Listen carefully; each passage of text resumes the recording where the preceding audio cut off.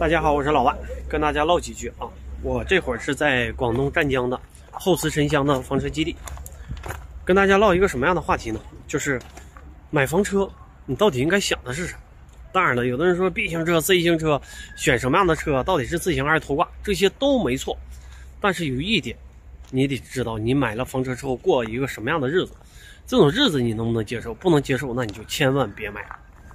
大家看一下我们这个营地啊。后次深乡这个营地，也是我们石家庄的一个大哥，东北呃北方人在南方做的这样的一个营地。这个营地，大家看我们地面现在垫的是这种石子儿，啊，有车友说说为什么没有硬化？其实我很清楚这个营地的投入是一个什么样的级别的。今天晚上这个营地的卫生间就会建好，我能感受到张哥在不断的去提升我们车友的这个营地的这个使用环境，但是依然存在这样的问题，比如说我们一个车友大哥。啊，私底下就跟我聊，因为私底下聊无所谓，什么都可以聊嘛。他说：“哎呀，这个营地就是在一个村里，呃，周边你看这个商业的配套设施什么的也不太好。呃，我都能，其实我能理解这个大哥说这个话的意思，因为大哥一看就是有消费能力的人。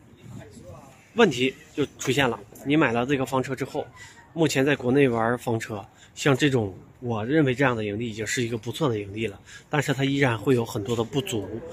呃，目前在我们房车圈，如果说你靠，呃，房车的这个，呃，靠这个营运费活下去，其实是挺难的。它自然就没有那么多的投入。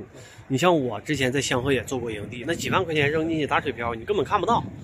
呃，但是我相信张哥的这营地，呃，一年两年之后，他肯定会越来越好。所以我在这给大家要提的醒是。现在目前能够买得起房车的，特别是四十万以上的房车的，在中国那都算是有钱人了。当然，这有钱不是说指富豪。那这种有钱人平时他的生活水准、消费水准，那不会太低。那么你买了房车之后，在这样的营地去过日子，有的时候我们甚至要停在公园、停在房车、停在停车场。那这样的日子你能不能接受？啊，我觉得这是一个需要思考的问题。那么咱们话说回来啊，就是你玩房车究竟是什么？你是要停在一个特别好的这个营地的一个环境呢？啊，没问题，这没有错。但是很多人买房车，可能更多的看的是气候资源。你比如说，我们现在在湛江，啊，你看我穿的虽然挺厚啊，但是你别忘了，现在就连北京都已经是大雪，已经很大很大了。这就说明我们这儿相对还来讲还算暖和的，所以也就是说，很多人买房车，包括我们刚才看到有一些玩房车的人，他图的是什么？他图的其实是气候资源。如果说目前你在中国，呃，房车旅行，你奔着说只要暖和就行啊，什么环境啊什么的，我要求的不是特别太高，那我觉得你买房车你会玩的很爽的。好了，这就是跟大家聊的内容，我就是那个。